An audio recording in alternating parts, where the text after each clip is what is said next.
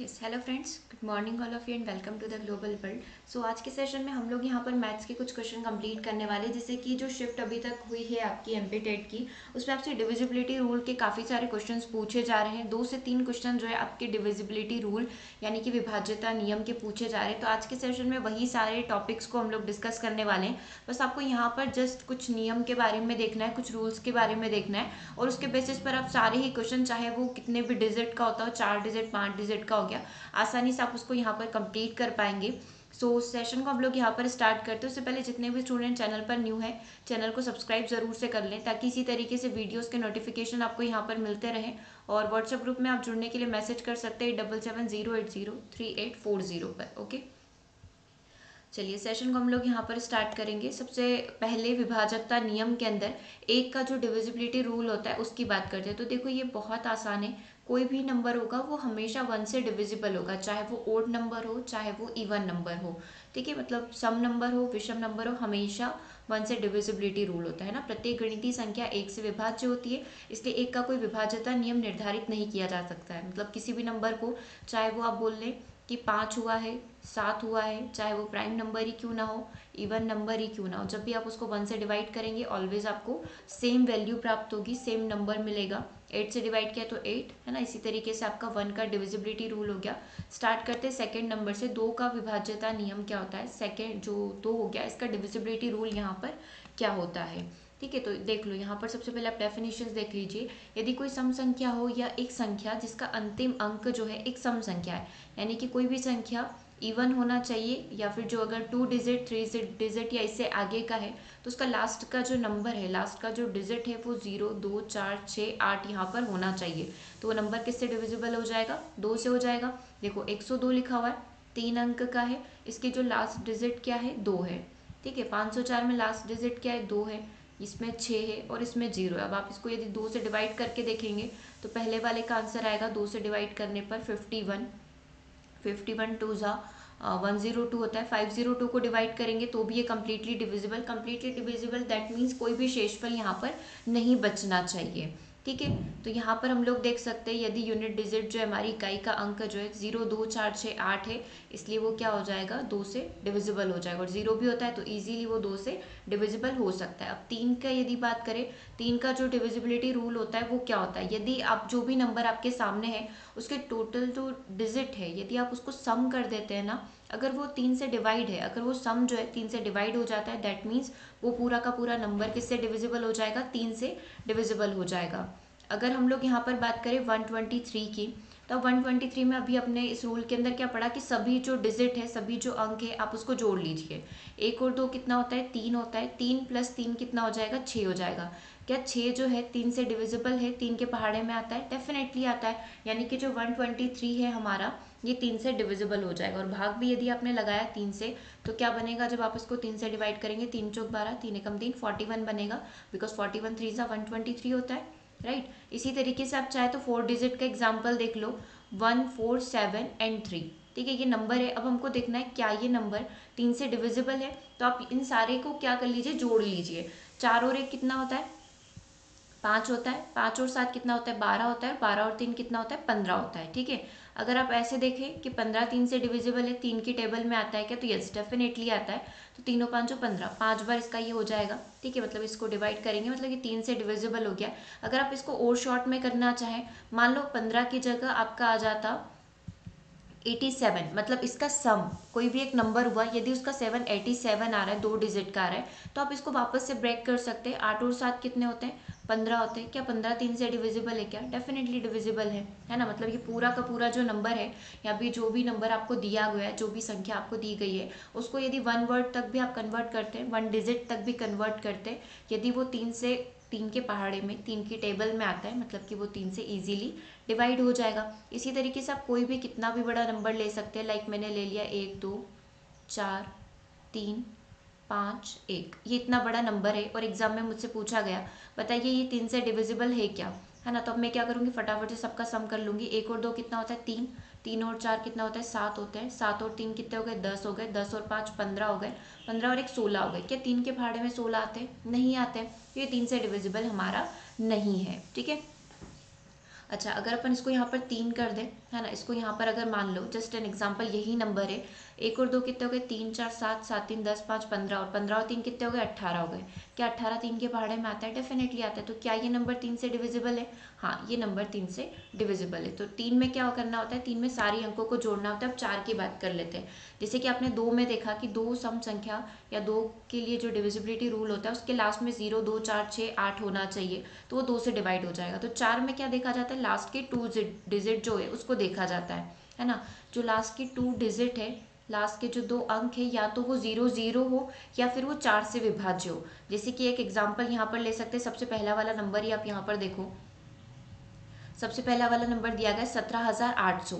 इसमें जो लास्ट के जो दो अंक है लास्ट की जो टू डिजिट है, वो ज़ीरो ज़ीरो है। दैट मीन्स ये नंबर यदि आप डिवाइड करेंगे तो ये कम्प्लीटली फोर से डिविजिबल होगा। है ना? अब फोर सिक्स थ्री टू की बात कर ले, अब इसमें लास्ट के जो दो अंक देखिए लास्ट के जो दो डिजिट है वो थर्टी टू है, बत्तीस है। अब क्या बत्तीस चार से डिविजिबल है? डेफिनेटली बत्तीस को जो अब चार से भाग लगाएँगे तो कितना आ जाएगा? आठ आ जाएगा तो चार से कम्प्लीटली डिवाइड हो रहा है। कोई भी शेषफल नहीं बच रहा है, यानी कि चार हज़ार तीन सौ बत्तीस जो है, चार से डिवाइड होगा। अड़तालीस अट्ठाईस की यदि बात कर लें तो लास्ट में क्या लिखा हुआ है? लास्ट के दो अंकों की बात कर लें तो अट्ठाईस है। अट्ठाईस में यदि आप चार का भाग लगाएँगे तो कम्प्लीटली डिवाइड हो जाएगा। मतलब ये भी डिविजिबल हमारा हो गया। ठीक है? अब यदि हम लोग बात कर ले पाँच की तो पाँच का बिल्कुल बेसिक्स और बिल्कुल आसान सा रूल होता है कि लास्ट का जो यूनिट डिजिट है या इकाई का जो अंक है वो ज़ीरो या फिर पाँच होना चाहिए। अब आप इन सभी में देख लो। लास्ट में या तो ज़ीरो आ रहा है, पाँच आ रहा है, फिर इधर पाँच आ रहा है, फिर इधर ज़ीरो आ रहा है। मतलब ये कम्प्लीटली पाँच से डिवाइड हो जाएँगे। अभी कुछ प्रीवियस पेपर के क्वेश्चन भी हम लोग कंप्लीट करेंगे। ठीक है छः के बात कर लेते हैं। छः का जो डिविजिबिलिटी रूल है, उसकी हम लोग यहाँ पर बात कर लेते हैं। जो संख्या दो और तीन से विभाज्य होती है, वह छः से भी विभाज्य होगी। मतलब छः के यदि हम लोग फैक्टर करेंगे छः के यदि गुणनखंड करेंगे तो क्या हो जाएगा? दो इंटू तीन, है ना? दो का तीन में गुणा करेंगे तो क्या आता है? छः आता है। मतलब छः का डिविजिबिलिटी रूल कैसे बनेगा? वो नंबर यदि हमसे पूछा गया कि यह छः से विभाज्य होगा कि नहीं होगा तो हम लोग देख लेंगे वो दो से भी कम्प्लीटली डिविजिबल होना चाहिए, यानी कि उसका जो यूनिट डिजिट है, यानी कि उसका जो इकाई का अंक है, वो क्या होना चाहिए? दो के लिए क्या होता है नियम? ज़ीरो, दो, चार छः आठ पर उसका एंडिंग होना चाहिए। और तीन के लिए क्या होता है? सभी अंकों को यदि आपने जोड़ दिया तो उसका सम जो है तीन से डिविजिबल होना चाहिए, तीन से विभाज्य होना चाहिए। एक नंबर हम लोग यहाँ पर उठा लेते हैं सेवेंटी टू ठीक है? अब सेवेंटी टू में लास्ट का जो अंक है वो दो है। मतलब ये दो से डिवाइड हो गया।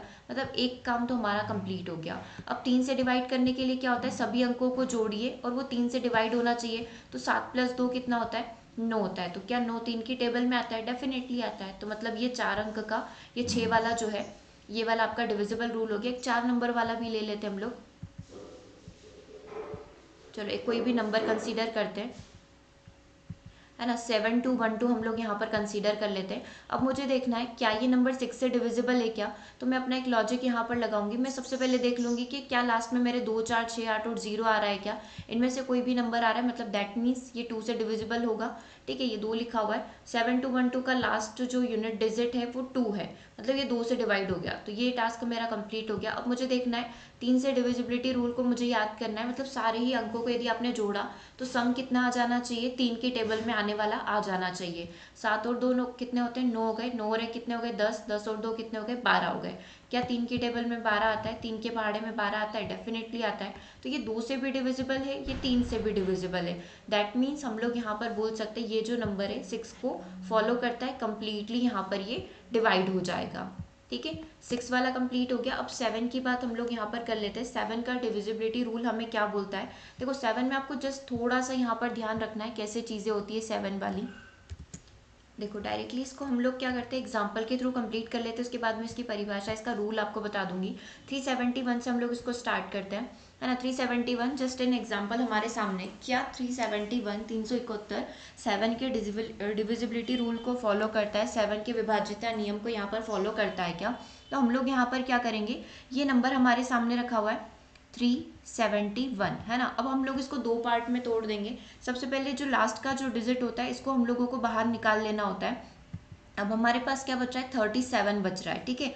अब जो लास्ट का जो हमारे पास अंक रखा हुआ है, हमेशा हम लोग इसमें क्या करेंगे? मल्टीप्लाई बाय टू करेंगे। ये सेवन का डिविजिबिलिटी रूल होता है कि जो भी आपके पास लास्ट का अंक रखा है ना, उसमें आप इसको दो से मल्टीप्लाई कर लो और माइनस कर लो जितने भी आगे की आपके सामने डिजिट्स रखे। मेरे आगे क्या रखा हुआ है? थर्टी सेवन रखा हुआ है। थर्टी सेवन में से यदि मैंने दो को माइनस किया तो मेरे पास कितना बच जाएगा? थर्टी फाइव बन जाएगा। क्या थर्टी फाइव सेवन की टेबल में आता है? सातों पाँच पैंतीस होता है कंप्लीटली डिविजिबल है। तो हाँ ये जो थ्री सेवेंटी वन है, ये सेवन से डिवाइड हो जाएगा। यदि ये नंबर थर्टी फाइव होता, है ना तो थर्टी फाइव को भी एक एग्ज़ाम्पल के थ्रू ही हम लोग कंसिडर कर लेते हैं। लास्ट वाली डिजिट क्या है? पाँच है। लास्ट वाला अंक क्या है? पाँच है। हम लोगों को क्या करना है? इसको दो से गुणा कर देना है। हमेशा क्या होता है? लास्ट वाला जो अंक होता है, उसको दो से हम लोग गुणा करते हैं। तो पाँच दुना कितना हो गया? दस हो गया, ठीक है? अब दस में से क्या करना है आपको? आगे वाले जितने भी नंबर होंगे, जितने भी अंक होंगे, उनको आप इसमें से माइनस कर लीजिए। तो दस में से तीन गए तो कितने बचेंगे? सात आपके बचेंगे, ठीक है? अब आप देख लो क्या सात के पहाड़े में सात आता है क्या? डेफिनेटली आता है। एक बार डिवाइड हो जाएगा। तो हाँ ये थर्टी फाइव भी इससे डिविजिबल यहाँ पर हो जाएगा। एक एग्ज़ाम्पल और आप यहाँ पर कंसिडर कर सकते हैं। एक एग्ज़ाम्पल हम लोग सबसे पहले ले लेते हैं। एक सौ बारह की बात करते हैं। ठीक है? अब एक सौ बारह में आपने क्या देखा था कि लास्ट वाला जो अंक है, उसको मल्टीप्लाई बाय टू कर दीजिए। टू इंटू टू कर दीजिए। ठीक है, और जो आगे जितने भी आपके पास बचा हुआ है ना, उसको माइनस कर दीजिए। आगे मेरे पास क्या रखा हुआ है? ग्यारह रखा हुआ है। ठीक है, अब मैं देखूँगी ग्यारह में से चार गए तो कितना बचेगा? ग्यारह में से यदि चार जाता है तो सात बचेगा।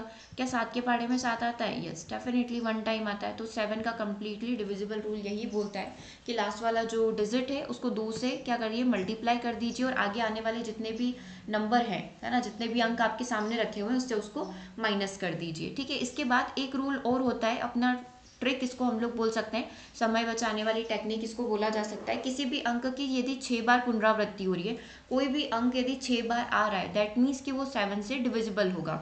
जैसे एक यहाँ पर छः बार आ रहा है, दो यहाँ पर छः बार आ रहा है, तीन छः बार आ रहा है, चार छः बार आ रहा है, ऐसे अगर ये सीरीज़ कंटिन्यू होती है ना दैट मीन्स ये नंबर जो है सात से डिवाइड हो जाएगा, ठीक है? चलिए, आगे बात हम लोग यहाँ पर कर लेते हैं। आठ का जो डिविजिबिलिटी रूल होता है, वो हमें क्या बोलता है?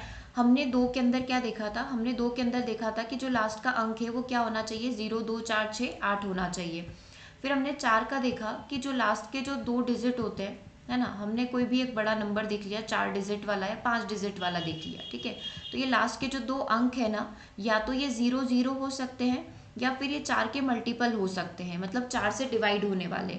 जैसे कि ज़ीरो फोर हो गया तो ये चार से डिवाइड हो जाएगा।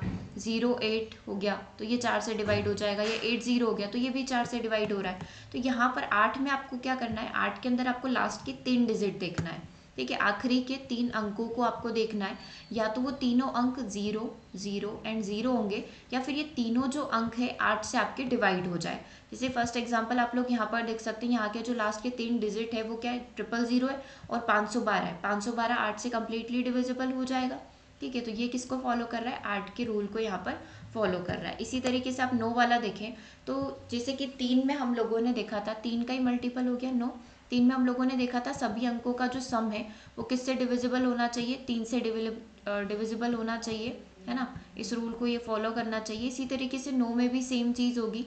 नो में भी क्या होगा? नो में ये हो जाएगा कि यदि आपने सारे अंकों को जोड़ा, सारी ही डिजिट को यदि आपने जोड़ दिया, यदि उसका सम नो आता है या फिर हम लोग बोल सकते हैं नो का मल्टीपल होगा।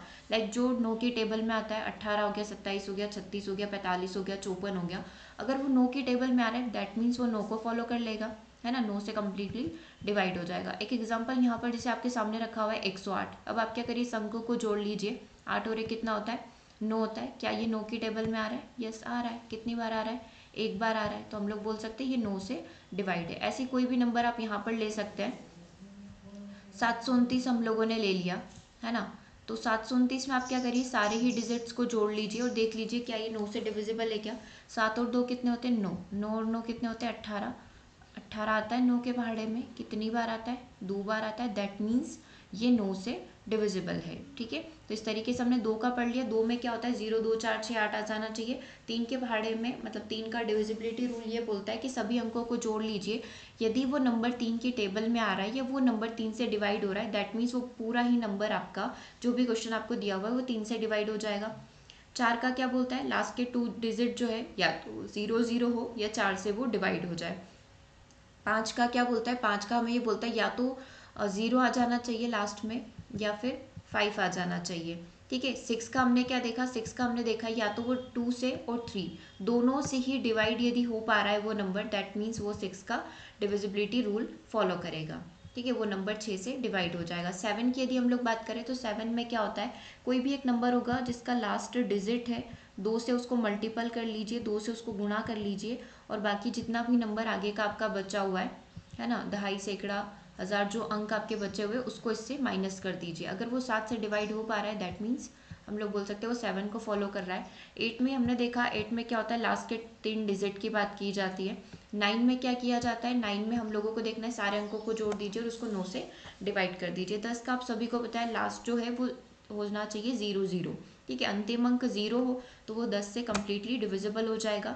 ग्यारह का किस तरीके से करते इवन और ऑड नंबर्स को हम लोग यहाँ पर लेते हैं। इवन और ऑड डिजिट को हम लोग यहाँ पर लेते हैं। सम और विषम संख्या के अंकों का योग और अंतर हमेशा क्या होना चाहिए? शून्य होना चाहिए या फिर ग्यारह से डिविजिबल होना चाहिए, ग्यारह से विभाज्य होना चाहिए। ठीक है एग्ज़ाम्पल हम लोग यहाँ पर कंसिडर कर लेते हैं।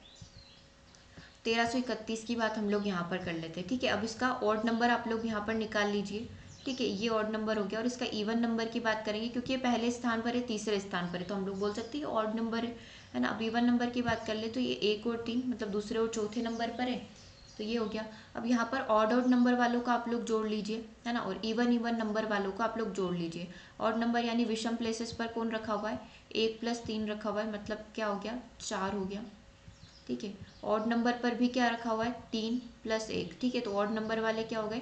इन दोनों को यदि हमने जोड़ा तो ये हो गए आपके चार, ठीक है? चार में से चार को घटा दीजिए, या तो इसका जो डिफरेंस है, वो ज़ीरो आ जाना चाहिए, या कोई भी नंबर जो कि ग्यारह से डिवाइड हो।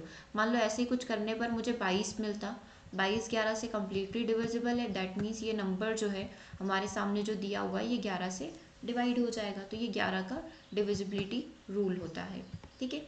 यहाँ तक क्लियर है। इसी तरीके से अगर आप आगे भी चलेंगे, बारह की तरफ़ चलेंगे तो चार इंटू तीन का फैक्टर चार से डिवाइड हो गया और तीन से डिवाइड हो गया मतलब वो बारह इजीली डिवाइड हो जाएगा। अब कुछ क्वेश्चन हम लोग यहाँ पर कंप्लीट कर लेते हैं। देखो डायरेक्टली देखने से क्वेश्चन बनेंगे। अगर ये रूल्स आपने देख लिए, एक बार समझ में आ गए तो ये क्वेश्चन को सॉल्व करने की ज़रूरत नहीं है। दो के डिविजिबिलिटी रूल में पीछे क्या आ जाना चाहिए? ज़ीरो यानी कि जो उसकी यूनिट डिजिट है, वो दो, चार छः आठ हो जानी चाहिए। अब मुझे दिख रहा है यहाँ पर पाँच नहीं होगा। नो दिख रहा है, नहीं होगा। थर्टी सेवन नहीं होगा तो क्या होगा? एटीन हो जाएगा, क्योंकि इसके पीछे क्या है? एट है। जब आप दो को डिवाइड करेंगे एटीन से तो आपका आंसर क्या आएगा? नो आएगा तो हम लोग बोल सकते हैं, ये डिविजिबिलिटी रूल दो वाला हमें एटीन के अंदर फॉलो होता हुआ दिखाई दे रहा है। ठीक है, ये नंबर हमने जस्ट एन एग्ज़ाम्पल काफ़ी छोटा लिया है। हमारे सामने जो क्वेश्चन पूछे जा रहे हैं, वो कुछ इस तरीके से पूछे जा रहे हैं। ये कुछ इस तरीके से पूछे जा रहे हैं। बताइए, क्या ये नंबर दो से डिविजिबल है? तो अब स्टूडेंट क्या करेंगे? जिन्हें रूल का आइडिया नहीं है, वो इसको सॉल्व करने बैठेंगे। दो दूना चार, दो चौक आठ, दो तिया छः दो एकम दो दो दूना चार, दो नम अट्ठारह। फिर वो कुछ देखेंगे कि हाँ कोई शेषफल नहीं बचा है दैट मीन्स ये दो से डिवाइड हो जाएगा। हमें ये पता है कि इसके पीछे आठ आ रहा है, दो से डिविजिबल है तो आपका आंसर क्या हो जाएगा? ऑप्शन नंबर जो भी आपका जिसके पीछे दो, चार छः आठ ज़ीरो दिखेगा, वो। नेक्स्ट क्वेश्चन है, पाँच का डिविजिबिलिटी रूल पूछा है, जिसके लास्ट में या तो ज़ीरो हो, या फिर फाइव हो। अब देख लो ज़ीरो और फाइव कहाँ पर दिख रहा है? केवल फिफ्टी फाइव में दिख रहा है। फिफ्टी फाइव में जो है फाइव फाइव है। लास्ट का डिजिट क्या है? पाँच है। दैट मीन्स ये डिविजिबल हो जाएगा। ऑप्शन नंबर डी आपका करेक्ट हो जाएगा। बाकी सारे दो से डिविजिबल हो सकते हैं। तीन से हो सकते हैं। ठीक है? चलिए क्वेश्चन नंबर थ्री की बात करते हैं। ऐसा नंबर आपको बताना है जो दो से भी डिविजिबल हो और पाँच से भी डिविजिबल हो। तो दो का जो नियम है, वो क्या बोलता है? लास्ट में क्या आ जाना चाहिए? ज़ीरो दो, चार, छ और आठ, ठीक है? अब हमको पता है पाँच का डिविजिबिलिटी रूल क्या बोलता है? पाँच का डिविजिबिलिटी रूल हमसे ये बोलता है, या तो लास्ट में ज़ीरो हो, या फिर पाँच हो। ठीक है, अब आप यहाँ पर क्या लगाइए? यहाँ पर बताइए कौन सा कॉमन है? कौन सा कॉमन है? केवल ज़ीरो ज़ीरो वाला कॉमन है, क्योंकि यहाँ पर दो, चार छः आठ है, लेकिन ये यहाँ पर नहीं है। ठीक है तो अब हमें ये देखना है, दो और पाँच से डिवाइड होने के लिए लास्ट में क्या हो जाना चाहिए? ज़ीरो हो जाना चाहिए, ठीक है? समझ में आ गई होगी आई थिंक ये वाली चीज़, क्योंकि दो से डिवाइड होने के लिए हमें चाहिए ज़ीरो और पाँच से भी डिवाइड होने के लिए ज़ीरो चाहिए। तो एक ही ऑप्शन में आपको दिख रहा है, जो कि ऑप्शन नंबर बी के अंदर। ओके तो इस तरीके से दो रूल्स को मिलाकर उनमें क्या कॉमन है, वो चीज़ आप यहाँ पर निकाल सकते हैं। पाँच से डिविजिबल होने के लिए अभी हमने देखा, या तो ज़ीरो होना चाहिए लास्ट में, या फिर पाँच होना चाहिए। ट्वेंटी फाइव के अंदर हमें दिख रहा है, पाँच है लास्ट में तो ये डिवाइड हो जाएगा पाँच बार। ओके नेक्स्ट क्वेश्चन की देखते हैं टू का डिविजिबिलिटी रूल अगेन वही होगा थर्टी एट जो है यहाँ पर टू से डिवाइड हो जाएगा। एक क्वेश्चन को देख लीजिए, नाइन से डिवाइड होने का रूल हमने क्या देखा था? नाइन से डिवाइड होने के लिए सभी नंबर, सभी जो डिजिट है, उसका सम क्या होना चाहिए? नो की टेबल में आना चाहिए। दो और एक तीन होता है, क्या ये नो की टेबल में आ रहा है? नहीं। दो और सात नौ होता है, नौ की टेबल में आता है डेफिनेटली ये आपका करेक्ट आंसर हो जाएगा। तीन और दो पाँच, नहीं आता है। और पाँच और तीन, आठ, इन दोनों का सम किया, नहीं आ रहा है नौ की टेबल में तो करेक्ट आंसर एक ही होगा यहाँ पर, जो कि होगा ऑप्शन नंबर बी ये तो छोटे क्वेश्चन आपको देखने से ही पता चल रहा होगा नोतिया सत्ताईस होता है तो नो की टेबल में आ रहा है। ओके तो कुछ इस तरीके से क्वेश्चन आपके एग्ज़ाम में बनते हैं है ना एक दो क्वेश्चन मैं अभी आपको बता देती हूँ जो अभी प्रीवियस ईयर अभी आपका जो शिफ्ट हो चुका है उसमें किस तरीके से पूछे गए थे एक आधो क्वेश्चन हम लोग ले लेते हैं। देखो एक क्वेश्चन दिया हुआ था उसमें नंबर थोड़ा सा लेंदी था। आ, सबसे पहले एक क्वेश्चन था कि कौन सी संख्या तीन से विभाज्य है राइट? तो उसमें एक नंबर दिया हुआ था जो एज इट इज़ एग्ज़ाम में दिया हुआ था मैं आपको यहाँ पर बता देती हूँ। One two five one two zero ये आपका पहला नंबर था ठीक है? सेकेंड नंबर था यहाँ पर आपका one two five five four two zero ठीक है? ये आपका सेकेंड नंबर था सेकेंड ऑप्शन था। थर्ड uh, नंबर के ऑप्शन की हम लोग यहाँ पर बात कर लेते हैं। Third is seven five eight eight seven and six ठीक है? और फोर्थ नंबर का ऑप्शन आपके सामने रखा गया था one two five four, eight, six and one. ठीक है? ये ऑप्शन आपके सामने थे। अब आपको यहाँ पर क्या करना था? पूछा क्या गया था? तीन से पूछा गया था। तीन से डिवाइड हो जाना चाहिए। है ना? तो अब हम लोगों को क्या करना है? फटाफट से इसका सम कर लेना है। ज़्यादा टाइम इसको नहीं देना है, क्योंकि नंबर काफ़ी बड़ा है। इसको डिवाइड करने बैठोगे तो आपके दो से तीन मिनट चले जाएँगे। ठीक है? फटाफट से सारे डिजिट को आप जोड़ लीजिए। एक और दो कितना होता है? तीन होता है। तीन और पाँच, आठ। आठ एक नौ नौ और दो ग्यारह। क्या ये तीन की टेबल में आता है ग्यारह? बिल्कुल नहीं आता है। मतलब ये डिविजिबिलिटी रूल को यहाँ पर फॉलो नहीं करेगा। सेकेंड नंबर के ऑप्शन की बात करते हैं। दो और एक, तीन। तीन, पाँच, आठ। आठ और पाँच, तेरह। तेरह और दो, पंद्रह। पंद्रह और चार, उन्नीस हो गया। तीन के पहाड़े में नहीं आता है। ये भी क्रॉस हो गया। थर्ड नंबर का ऑप्शन कितना हो गया? आप इसको जोड़ लीजिए और आंसर करिए। इसका क्या आंसर यहाँ पर होगा? फटाफट से जोड़िएगा। है ना? चलिए, सात और पाँच बारह हो गया। बारह और आठ कितना हो गया? बीस। बीस और आठ कितना हो गया? अट्ठाईस। अट्ठाईस, सात कितना हो गया? पैंतीस। पैंतीस छः कितना हो गया? इकतालीस हो गया। क्या इकतालीस आता है तीन की टेबल में? बिल्कुल नहीं आता है। अगर इकतालीस को भी यदि आप ब्रेक करना चाहें ना तो चार प्लस एक कितना होता है? पाँच होता है। क्या पाँच आता है टेबल के अंदर? नहीं आता है। ठीक है तो ये ऑप्शन नंबर सी भी रॉन्ग हो गया। तो अभी हमारे पास ऑप्शन नंबर डी बचा है। वही आपका करेक्ट आंसर होगा। तो इसको कर लीजिए। एक और दो कितना होता है? तीन। तीन, पाँच, आठ। आठ और चार, बारह। बारह और आठ कितना होता है? बीस। बीस और छः कितना होता है? छब्बीस। छब्बीस और एक कितना होता है? सत्ताईस। ट्वेंटी सेवन होता है। ट्वेंटी सेवन को भी यदि आप ब्रेक करोगे two plus seven two plus seven कितना होता है? नाइन होता है. सिंगल यूनिट हो गया सिंगल डिजिट हो गया. मतलब हम लोग बोल सकते हैं nine completely divisible by three तो हमारा जो करेक्ट आंसर हो गया, वो क्या हो गया? ऑप्शन नंबर डी हो गया। ठीक है, इसी तरीके से कोई भी आपका क्वेश्चन बन रहा है ना तो आप इजीली उसको कंप्लीट कर पाओगे। जैसे कि बन गया कि क्या ये नंबर 18 से डिविजिबल है क्या?